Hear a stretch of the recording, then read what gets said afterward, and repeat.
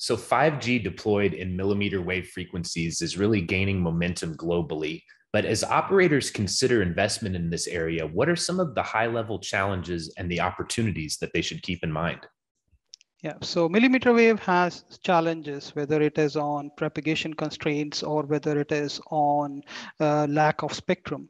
But what we see is the key opportunity for telecom operators is the monetization of additional data traffic.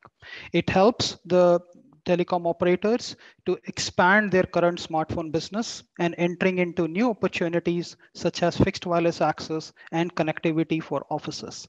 Our analysis shows that 5G millimeter wave can enable up to 8% increase in the revenue of a typical operator. This is driven by the new revenue streams coming from fixed wireless access or connecting devices beyond smartphones, but also providing better quality of experience in high density locations and hot zones across these locations.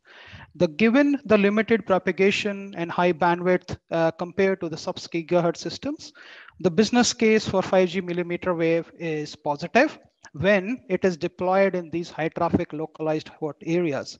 We could clearly see that you can have a positive business case with a payback period of less than four years in most of these localized hot areas.